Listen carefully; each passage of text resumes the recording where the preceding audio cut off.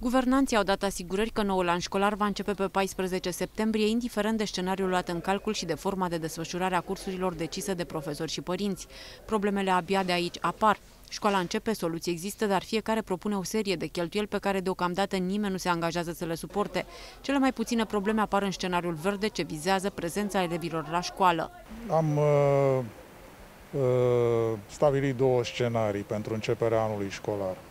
Primul se referă la situația în care uh, contaminarea este minimă și uh, în această situație organizăm activitatea uh, la școală în două schimburi. A doua variantă, dacă cumva ajungem în zona galbenă, va trebui să asigurăm numai pentru învățământul primar și clasa 8 -a, clasa 12 activitatea la școală, restul claselor a 5 -a, a 7 -a, a 9 -a, a 11 -a, trebuie să fie organizați în uh, așa situație hibridă sau mixtă. La cheltuielile amintite în scenariul galben se mai adaugă cele cu privire la pregătirea școlilor cu echipament IT, care să permită transmiterea online a orelor ținute în clase doar pentru o parte dintre elevi. Conducerile unităților de învățământ atrag atenția și asupra problemelor legale ce pot apărea. Ministerul Educației și Cercetării trebuie să fie atent la modificarea legislației, pentru că uh, vor apare modificări în programul școlar, în uh, proiectele cadru,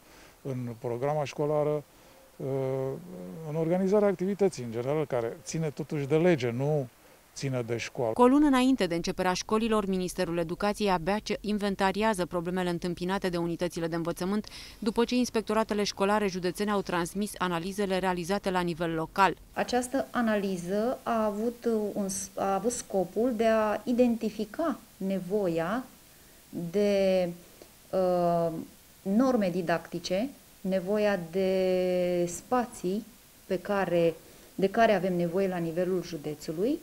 Analiza o vom trimite la minister, iar deciziile se vor lua în ceea ce privește partea financiară, se vor lua la nivelul ministerului.